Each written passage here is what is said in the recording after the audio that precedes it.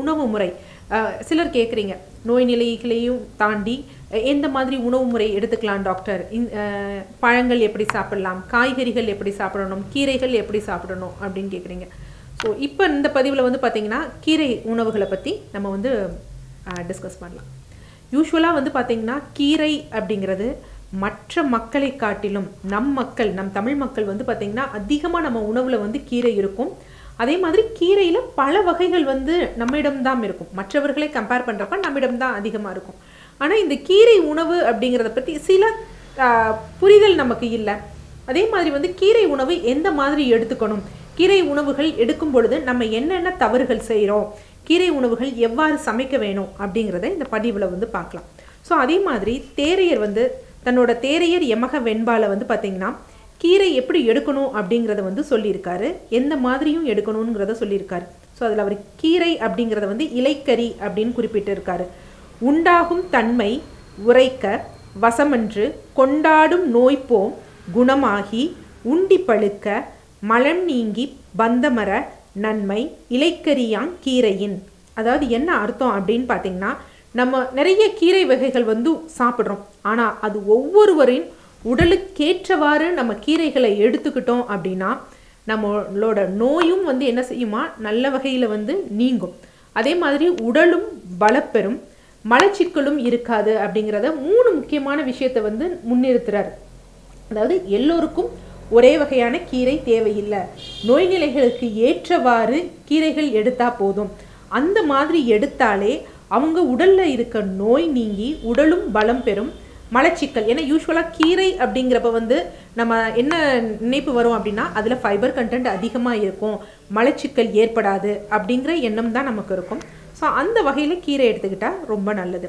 சரி எந்த மாதிரி கீரை? கீரை சமைக்கும் பொழுது நாம் செய்யக்கூடிய சிறு சிறு தவறுகள் என்ன அப்படின்னா ஸோ நம்ம கீரை எடுக்கிறப்ப என்ன பண்ணுறோம் அப்படின்னு பார்த்தீங்கன்னா உணவாக எடுக்கும் பொழுது கீரையில் தான் அயன் கண்டென்ட் அதிகமாக இருக்கே அதனால நல்லா நிறைய கீரை சாப்பிடலாம் அப்படிங்கிறத இது பண்ணிக்கிறோம். ஓகே அதில் இரும்புச்சத்து இருந்தாலும் எடுத்துக்கொள்ள வேண்டிய அளவில் எடுத்துக்கிட்டால் தான் அது நம்ம உடலில் வந்து முறையாக செரிமானமாகிறப்ப அந்த சத்துக்கள் வந்து நம்ம உடலுக்கு போகும். ஸோ அந்த மாதிரி நம்ம எடுத்துக்காம ரொம்ப அதிக அளவில் ஒரே நாளில் எடுத்துட்டோம் அப்படின்னா அது மலத்தின் வழியாக தான் வெளித்தள்ளப்படும். அடுத்து இன்னொரு விஷயம் என்ன அப்படின்னா கீரைகளில் அதிகமாக கால்சியம் சத்துக்கள் இருக்குது அதனால் சிலர் வந்து பார்த்திங்கன்னா தினமும் கீரைகள் எடுப்பாங்க. அதையும் அளவு மிகுந்து வந்து எடுப்பாங்க. ஸோ அந் அந்த அளவு மிகுந்து எடுக்கிறப்ப குறிப்பாக புளி சேர்த்து எடுக்கும் பொழுது அந்த கீரைகள் வந்து முறையாக வந்து செரிமானம் ஆகாது அதனால் என்ன அப்படின்னா சிறுநீரக கற்கள் ஏற்பட வாய்ப்புகள் அதிகம். யூஸ்வலாக மற்ற மருத்துவ முறைகளில் போகிறப்ப சப்போஸ் சிறுநீரக கற்கள் அவங்களுக்கு இருந்ததுன்னா டாக்டர்ஸ் சொல்லக்கூடிய முக்கியமான விஷயம் என்னென்னா கீரைகள் சாப்பிடாதீங்க அப்படின்னு. இங்கே கீரைகள் மீது குறையில்லை நம்ம எடுத்துக்கொள்ளக்கூடிய அந்த உணவு முறை இருக்குது பார்த்தீங்களா பக்குவம் இருக்குது பார்த்தீங்களா அதில் தான் தவறுகள் இழைக்கப்படுது. கீரையை நாம் உணவாக எடுக்கும் பொழுது எப்படியெல்லாம் எடுக்கலாம் அப்படின்னு பார்த்தீங்கன்னா கீரையை பற்றி நம்ம சித்த நூல்களில் வந்து உணவு முறையாக எடுக்கும் பொழுது சொல்லக்கூடிய ஒரு நெய் சேர்க்கக்கூடியது ஒரு நெய் எண்ணெய் என்ன அப்படின்னு பார்த்தீங்கன்னா நெய் தான் பசுவின் நெய் ரொம்ப முக்கியமாக சேர்த்துக்கணும். அதுக்காக நிறையா கிடையாது. சும்மா தாளிதம் பண்ணுவதற்கு பசுவின் நெய் ரொம்ப முக்கியமான ஒரு விஷயம். அது மாதிரி மிளகு சீரகம். அதுவும் ரொம்ப முக்கியமான விஷயம். ஏன்னா நம்ம என்ன பண்ணுறோம் அப்படின்னா கீரைக்கு வந்து நிறைய வரமிளகாய் போட்டு கார மிளகாய் போட்டு என்னென்னமோ ஸ்பைஸ் ஸ்பைசஸ் ஆட் பண்ணி அப்படியெல்லாம் எடுக்கக்கூடாது. ஏன்னா இந்த மாதிரி உணவுகள் எடுக்கும் பொழுது தான் அந்த கீரையானது முழுவதும் செரிமானம் ஆவதற்கும் சத்துக்கள் உடலில் உறிஞ்சுவதற்கும் வந்து பார்த்திங்கன்னா அது ஹெல்ப் பண்ணும். மலச்சிக்கலையும் ஏற்படுத்தாது. அஜீரணம் மந்தம் போன்றவை ஏற்படு ஏற்படுத்தாது. நம்ம கீரையை வந்து சரி கீரை தானே அது ரொம்ப நல்லதே அதனால எப்போ பாரு நம்ம கீரை எடுக்கலாம் அப்படிங்கிறது கிடையாது. கீரை எடுப்பதற்கும் கால நேரம் இருக்கு. காலை வேலைகளில் கீரையை எடுக்கும் பொழுது எப்படின்னா அந்த கீரை சூப் அந்த மாதிரி எடுத்துக்கலாம். ம மதிய வேலைகளில் வந்து கீரை பொரியல் கீரை கடைசல் அந்த மாதிரி எடுத்துக்கலாம். ஆனால் கண்டிப்பாக மாலை வேளையில் சூரியன் அஸ்தமனமான பின் கண்டிப்பாக கீரை உணவு எடுக்கவே கூடாது. கீரை உணவு அப்படி எடுத்தோம் அப்படின்னு பார்த்தீங்கன்னா நாளடைவில் அவர்களுக்கு செரிமானம் மந்தப்படும் வயிற்றுக் கோளாறுகள் வந்து ஏற்படும். அதே மாதிரி வயிற்றில் வந்து பார்த்திங்கன்னா அல்சர்ஸ் போன்றவை கிரியேட் ஆகும். அல்சர் வருது அப்படின்னா நம்ம சாப்பிடாம இருந்ததான் அல்சர் வரணும் அப்படிங்கிற அவசியம் இல்லை. முறையான செரிமானம் இல்லை என்றாலும் அல்சர் வயிற்றில் வந்து புண்கள் போன்ற விஷயம் வந்து ஏற்படலாம். சரி இதெல்லாம் கீரை சாப்பிடுவதற்கு என்ன வழிமுறைகள் எப்படியெல்லாம் சாப்பிடலாம் அப்படின்னு சொன்னோம். ஸ்பெசிஃபிக்காக நம்ம தேரையர் சொன்ன மாதிரி இந்தந்த நோய் நோய் நிலைகளுக்கு இந்த மாதிரி கீரை எடுத்துக்கிட்டால் நல்லா இருக்கும். இந்த மாதிரி கீரையை சாப்பிட்டா இந்த கீரையை சாப்பிட்டா நம்ம உடல் வந்து நல்லா தேற்றி வரும் அப்படின்னு சொல்லப்பட்டு இருக்க சில கீரைகளை பார்ப்போம். நம்ம இன்று பழக்கத்தில் இருக்கக்கூடிய கீரைகளை பற்றி மற்றும் இப்போ பார்ப்போம். முதன்மையாக சொல்லக்கூடாது என்னது அப்படின்னா அகத்திக்கீரை. அகத்திக்கீரைங்கிறது நம்ம மைண்டில் என்ன இருக்குது அப்படின்னா அகத்திக்கீரைனா நம்ம மாட்டுக்கோ கண்டுக்குட்டிக்கோ கொடுக்கக்கூடிய கீரை. அமாவாசை அன்னைக்கு மற்றும் உபயோகப்படுத்தக்கூடிய கீரை அப்படின்னு வந்து நம்ம நினச்சிட்டு இருக்கோம். ஏன்னா அகத்திக்கீரை சாப்பிட்டா எனக்கு வந்து செரிமானமாகாது அகத்திக்கீரை எங்களுக்கு ஒத்துக்காது அப்படிங்கிற எண்ணம் பலதரப்பட்ட மக்கள்கிட்ட இருக்குது அதே மாதிரி அகத்திக்கீரை தினமும் எடுத்துக்கொள்ளக்கூடிய ஒரு கீரை கிடையாது. அகத்திக்கீரையில் விட்டமின் ஏ சத்துக்களும் அது மாதிரி இரும்பு சத்தும் அதிக அளவில் வந்து அகத்திக்கீரையில் இருக்கு. ஆனால் வாரம் ஒரு முறை மட்டும் இந்த அகத்திக்கீரையை வந்து எடுத்துக்கொள்வது நல்லது. அகத்திக்கீரை எடுத்துக்கிறதுனால மருந்தை முறிச்சிடும். நாங்கள் டயபெட்டிக் பேஷண்ட் அந்த மாதிரிலாம் அப்படியெல்லாம் கிடையாது. அதாவது அகத்திக்கீரைக்கு என்ன ஒரு தன்மைனா நம்ம உணவு குழாயை சுத்தப்படுத்தும் தன்மை வந்து அதுக்கு உண்டு. அதனால தான் அது மாதிரி நம்ம உடலோட ரொம்ப அதிகமாக வெப்பம் இருந்தது அப்படின்னா அதை வந்து குளிர்ச்சி பண்ணக்கூடிய தன்மை வந்து இந்த அகத்திக்கீரை இருக்குது யூஸ்வலாக விரதம் இருந்தோம் அப்படின்னா அன்னைக்கு நம்ம உடல் உஷ்ணம் வந்து அதிகமாகும். அதை தன்னிலைப்படுத்துவதற்கு தான் நம்ம முன்னோர்கள் வந்து அந்த பட்டினி கிடந்த மறுநாள் வந்து முதல் வேலையாக வந்து அகத்திக்கீரையை வந்து சாப்பிட சொல்லுவாங்க. ஸோ அந்த மாதிரி அகத்திக்கீரையை எடுத்தால் எந்த பிரச்சனையும் கிடையாது. அனைவரும் வாரத்திற்கு ஒரு முறை அகத்திக்கீரை எடுத்தாங்க அப்படின்னு பார்த்தீங்கன்னா இந்த வயிற்றில் ஏற்படக்கூடிய பிரச்சனைகள் வெகுவாக குறையும். பித்தப்பை கற்கள்லாம் உங்களுக்கு வந்து ஏற்படாது. அதுக்காக வந்து ரொம்ப பிரத்யேகமானது வந்து பார்த்திங்கன்னா இந்த அகத்திக்கீரை. ஆனால் அகத்திக்கீரைக்கு எப்பயுமே வந்து ஒரு பழமொழி உண்டு. என்ன அப்படின்னு பார்த்தீங்கன்னா அகத்திக்கீரை வேகாமல் கெட்டது அப்படின்னு.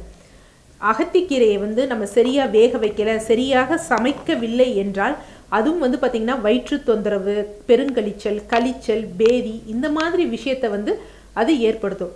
அடுத்து எடுக்கக்கூடிய கீரைன்னா முருங்கையை வந்து பார்க்க போகிறோம் முருங்கைக்கு வந்து நிறைய நல்ல பண்புகள் இருக்குது முருங்கை இலைக்கு. அதில் ஒவ்வொன்றாக வந்து பார்ப்போம். குறிப்பாக குழந்தைகள் வீட்டில் நம்ம குழந்தைகள் வச்சுருக்கவங்க எல்லாருக்கும் என்ன அப்படின்னா குழந்தைகளுக்குரியது காலம் வந்து கபக்காலம். ஸோ அவங்களுக்கு அடிக்கடி வந்து பார்த்திங்கன்னா சளி ஏற்படும் மார்பு சளி குறிப்பாக மார்பு சளி ஏற்படும் இருமல் ஏற்படும். அவங்களுக்கு நீங்கள் என்னதான் மருந்துகள் மற்ற முறைகளில் கொடுத்தாலும் சளியானது எக்ஸ்பெக்டோரேஷன் சொல்லுவாங்க. உள்ளே இருக்க சளி வந்து வெளியேறாது.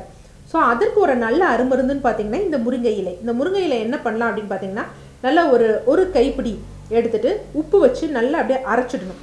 அரைச்சிட்டு அந்த சாறை மட்டும் பிழிந்து குழந்தைகளின் வயதுக்கு ஏற்றவாறு இப்போ வந்து பார்த்தீங்கன்னா ஒரு இரண்டு வயதுலேருந்து ஐந்து வயது வரைக்கும் இருந்தது அப்படின்னா ஒரு ஐந்து எம்எல் கொடுக்கலாம்.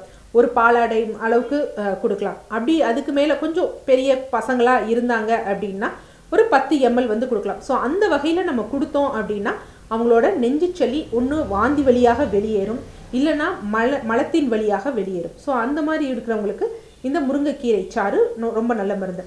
அடுத்து இந்த முருங்கைக்கீரைனாலே அதில் என்ன இருக்குது அப்படின்னு பார்த்தீங்கன்னா இரும்பு சத்து அதிகமாக இருக்குது பெண்கள் குறிப்பாக மாதவிடாய் ரெகுலராக வராத பெண்கள் அது மாதிரி நீர்க்கட்டி இருக்கக்கூடிய பெண்கள் இரத்தச்சோகை இருக்கக்கூடிய பெண்கள் இந்த பெண்கள் எல்லாம் இந்த முருங்கைக்கீரையை வந்து சூப்பாக மாலை நேரங்களில் வந்து எடுத்துக்கலாம். ஸோ முருங்கைக்கீரை நல்லா ஒரு கைப்பிடி எடுத்துக்கணும். அதில் வந்து மிளகு ஒரு ஆறு மிளகு போடணும். சீரகம் ஒரு ஸ்பூன் போடணும். பூண்டு ஒரு ஐந்து பல் மஞ்சள் தூள் போட்டு நல்லா ஒரு ரெண்டு கிளாஸ் நீர் விட்டு நல்லா கொதிக்க வைக்கணும். கொதிக்க வச்சுட்டு அரை கிளாஸாக வந்தோடனே வடிகட்டி தேவை என்றால் உப்பு சேர்த்து தொடர்ந்து மாலை நேரங்களில் பருகி வர என்ன ஆகும் அப்படின்னு பார்த்தீங்கன்னா இரத்தச்சோகையினால் மாதவிடாய் தள்ளி போகிறது இல்லை பெரும்பாடுன்னு சொல்லுவாங்க. அதிக குருதி வெளிப்பாடு கா காரணமாக பெண்களுக்கு வந்து பார்த்திங்கன்னா இரத்தச்சோகை ஏற்படும். ஸோ அந்த மாதிரி இருக்கிறவங்களுக்கு இந்த முருங்கைக்கீரை வந்து கண்டிப்பாக வந்து பார்த்திங்கன்னா ஒரு நல்ல முருங்கைக்கீரை சூப் வந்து நல்ல ஒரு அருமருந்து அப்படின்னு சொல்லலாம். அதுக்கடுத்து நம்ம ரொம்ப அதிகமாக யூஸ் பண்ணுறது என்னது? இன்று அதுவும் குறிப்பாக சென்னை மாதிரி இடத்துல நமக்கு தெரிஞ்ச ஒரே கீரை என்ன கீரைன்னா சிறுகீரை.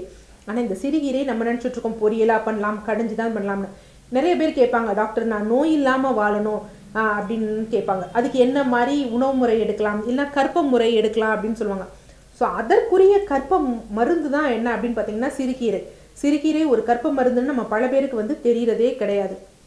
ஸோ சிறுகீரை என்ன பண்ணிடணும்? லைட்டாக நெய் விட்டு வதக்கிட்டு அதில் மிளகு சீரகம் உப்பு மூன்றும் பொடி பண்ணி சேர்த்து நன்கு அரைத்து கொள்ள வேண்டும். ஸோ அரைச்சிட்டு அதை டெய்லி வந்து சாப்பிட்டு வரணும். நாற்பது நாட்கள் தொடர்ந்து சாப்பிட்டு வரணும். ஸோ கொஞ்சம் பத்திய முறை வந்து கடைப்பிடிக்கிறோம் என்ன அப்படின்னா கற்ப முறைன்னு எடுக்கிறப்ப நம்ம உடலை ஃபுல்லாக வந்து புதுப்பிக்கிற செயல்கள் நடக்குது. இங்கே வந்து அஜீர்ணம் அஜீரணம் போன்ற விஷயம் இல்லை தேவையில்லாத உணவுகள் எடுத்தால் பத்தோட பதினோரு உணவாக பதினொன்றாவது உணவாக வந்து இது வந்து மலத்தின் வழியாக வெளித்தள்ளப்படும் ஸோ பத்திய முறையோடு இதை நீங்கள் எடுத்தீங்க அப்படின்னா தொடர்ந்து நாற்பது நாட்கள் கண்டிப்பாக வந்து கண்கள் வந்து குளிர்ச்சி பெறும். அது மாதிரி இந்த உஷ்ணம் சம்பந்தப்பட்ட நோய்கள் இதெல்லாம் எதுவுமே வராது. குறிப்பாக ஆண்களுக்கு வந்து பார்த்திங்கன்னா விந்து குறைபாடு மற்ற குறைபாடு ஆண்மையின்மை எல்லாவற்றிற்கும் வந்து பார்த்திங்கன்னா இந்த சிறுகீரை வந்து ஒரு அருமருந்தாக இருக்கும்.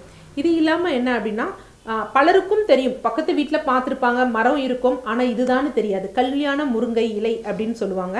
ஸோ இந்த கல்யாண முருங்கை இலை வந்து குறிப்பாக பெண்களுக்கு வந்து ஒரு நல்ல மருந்துன்னு சொல்லலாம். அதாவது குழந்தை பிறப்புக்கு பின் அந்த கருப்பையோட அழுக்குகள் வெளியேறுவதற்கும் பெண்களுக்கு வந்து பார்த்திங்கன்னா பால் சுரப்பதற்கும் ஒரு நல்ல மருத்துவம் குணம் வாய்ந்த கீரை அப்படிங்கிறது இந்த கல்யாண முருங்கை இலை.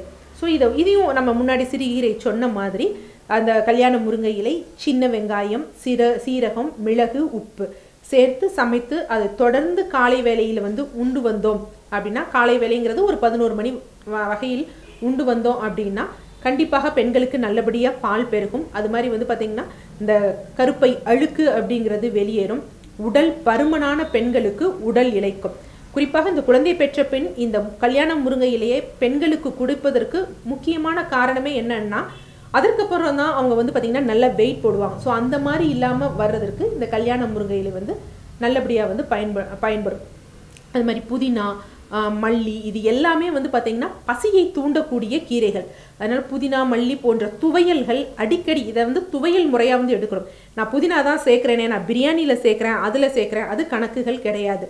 துவையல் செய்து சாப்பிட வேண்டும். இஞ்சி பூண்டு அந்த மாதிரி வச்சு துவையல் வச்சு சாப்பிட்டோம் அப்படின்னா அதுக்கு நல் நல்லா வந்து பார்த்திங்கன்னா செரிமானத்திற்கு தேவையான அந்த என்சைம்ஸ் ஆசிட் இதை வந்து உமிழ்நீர் சுரப்பு இது எல்லாத்தையும் இது பண்ணும். பசியின்மை அப்படிங்கிறது வந்து இருக்காது. அதுக்காக இதை சாப்பிட்ட உடனே எனக்கு பசி எடுக்காமல் இருந்த எனக்கு பசி எடுத்துருமா அப்படின்னு நினைக்காதீங்க. இதை தொடர்ந்து பயன்படுத்தி கொண்டு வர கண்டிப்பாக பசியின்மை நா நாட்பட்ட நாட்களாக இருக்கிறவங்களுக்கு சரியாகும். இது மாதிரி பல கீரை வகைகள் வந்து அவங்கவுங்க கண்டிஷன்ஸ்க்கு வந்து நம்ம பார்த்து கொடுக்குறப்ப கண்டிப்பாக வந்து என்ன சொல்லலாம்? சித்தர் தேரையர் சொன்ன மாதிரி நோய் நிலைகள்லேருந்து அவங்க முழுதும் வெளிவரலாம். அதே மாதிரி அவங்களுக்கு மலச்சிக்கலும் போகும் உடலும் நன்கு தேரும். என்ன நேர்களே? ஸோ கீரை அப்படிங்கிறது இது ஒரு அளவு கிடையாது. இன்னும் நிறைய இருக்குது குறிப்பாக சித்த மருத்துவத்தில் நிறைய கீரைகள் நிறைய நோய் நிலைகளுக்கு வந்து சொல்லப்பட்டிருக்காங்க. ஈவன் வந்து பார்த்திங்கன்னா கீழா நெல்லி கீழா நெல்லியும் வந்து பார்த்திங்கன்னா கீரை வகையோடு சேர்ந்தது. கருவேப்பிலை இந்த மாதிரி இருக்குது தொடர்ந்து நம்ம பல பதிவுகளை வந்து பார்த்திங்கன்னா அந்த கீரையோட பயன்களை சொல்லலாம். நன்றி வணக்கம்.